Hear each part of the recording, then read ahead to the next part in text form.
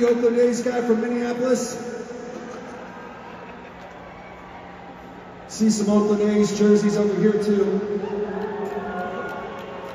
And I saw one over there. I had to stop Matt Freeman from going to the team store for the Brewers today. Because Matt Freeman doesn't like what's happening in Oakland. So John Fisher, listen again, sell the fucking team.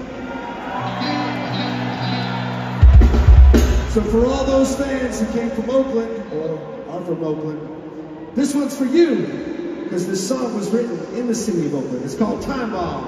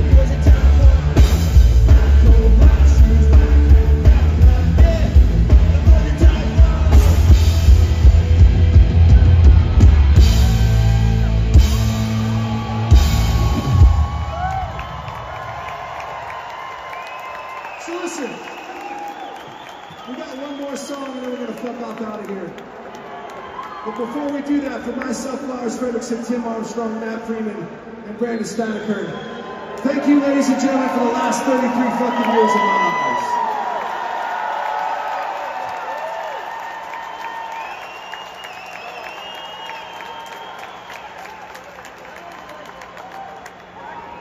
If I think if you would have told us when we were kids, working class blue collar kids growing up in the Bay Area, that we'd be playing baseball stadiums one day, no matter what the fuck the circumstances where we would have told you you were crazy. So, one more time, thanks from the bottom of our hearts to Green Day for taking us out and giving us this experience. It's your last chance to dance, but if I was gonna sing y'all Destination Unknown. I think you can do it a little louder. You ready? Destination Unknown.